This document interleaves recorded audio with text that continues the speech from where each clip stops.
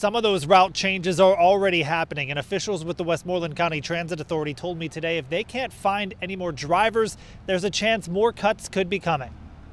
Westmoreland County Transit Authority Executive Director Alan Blahovec was clear as he described the current driver's situation to us.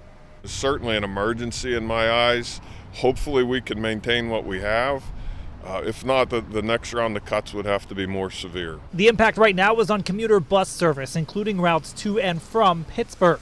Blahovec says he needs at least 10 drivers. It accounts for about 20% of the overall staff for commuter routes. There will always be options for people. We'll be cutting individual trips on, on routes, but people will still have options to get to Pittsburgh and travel locally.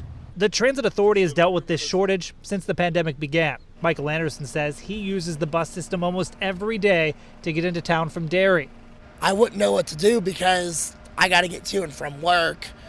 Um, everything I do to get around the county is Westmoreland Transit. In recent months, officials say the number of riders has started to trend back in the right direction.